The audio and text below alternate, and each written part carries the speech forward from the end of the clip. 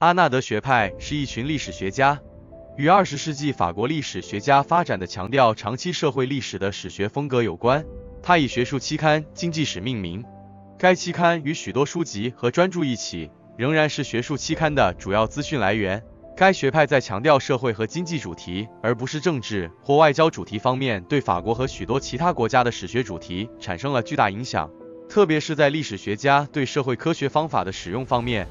阿纳德学派如何影响欧洲和拉丁美洲社会史的发展？阿纳德学派法语发音 a n e l 是一群历史学家，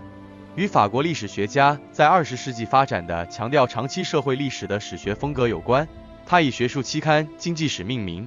该期刊与许多书籍和专著一起，仍然是学术期刊的主要资讯来源。阿纳德学派如何影响法国社会史的发展？阿纳德学派法语发音 a n e l 是一群历史学家。与法国历史学家在二十世纪发展的强调长期社会历史的史学风格有关。它以学术期刊《经济史》命名，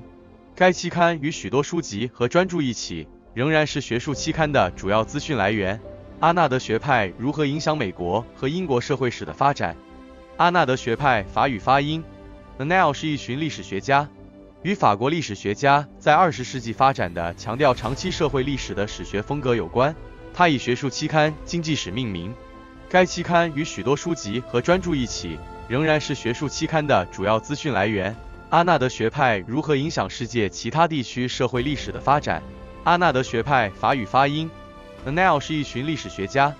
与法国历史学家在二十世纪发展的强调长期社会历史的史学风格有关。他以学术期刊《经济史》命名，该期刊与许多书籍和专著一起。仍然是学术期刊的主要资讯来源。